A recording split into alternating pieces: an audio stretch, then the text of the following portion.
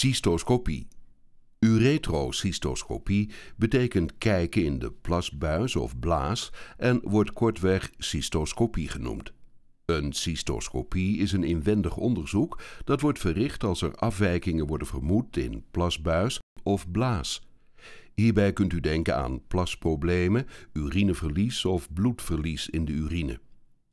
Het onderzoek wordt uitgevoerd met behulp van een cystoscoop, een dunne buis waarmee water in de blaas kan worden gebracht met daarop een kleine camera. Via deze buis kunnen de binnenzijde van de plasbuis en de blaas nauwkeurig worden bekeken. Er bestaan buigzame en rechte cystoscopen. Over het algemeen wordt een buigzame cystoscoop gebruikt bij mannen en een starre cystoscoop bij vrouwen.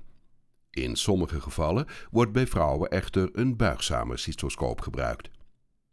Het onderzoek vindt polyklinisch plaats.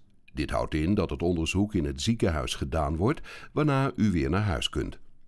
Tijdens het onderzoek zal u gevraagd worden om uw benen in beensteuners te leggen. Voorbereiding. Voor het onderzoek is thuis geen speciale voorbereiding nodig.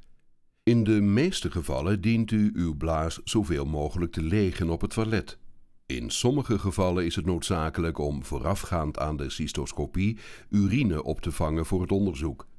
Als dit het geval is, zal de verpleegkundige u hierover informeren.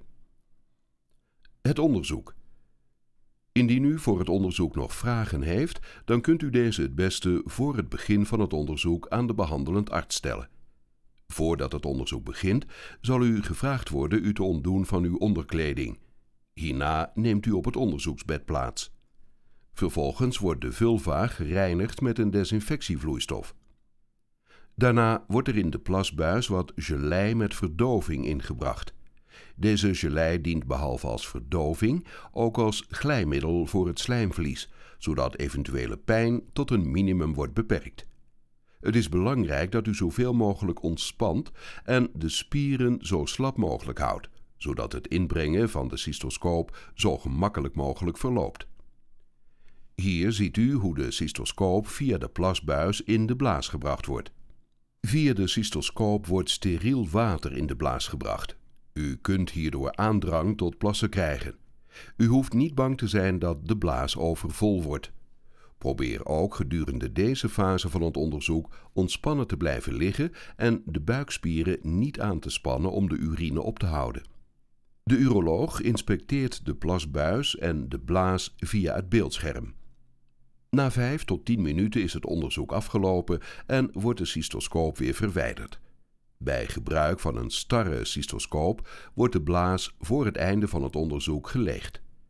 Bij gebruik van een flexibele cystoscoop kunt u, nadat u bent aangekleed, zelf de spoelvloeistof weer uitplassen. Biopsie. Bij verdenking van een afwijking wordt er soms ook nog een biopsie gedaan. Indien een biopsie noodzakelijk is, dan zal het tijdens het onderzoek met u worden besproken. Bij een biopsie wordt met een klein tangetje een klein stukje weefsel uit de blaas genomen. Via de cystoscoop wordt het tangetje ingebracht, zoals u hier kunt zien. Tijdens het onderzoek wordt u gevraagd naar uw ervaring en pijnbeleving.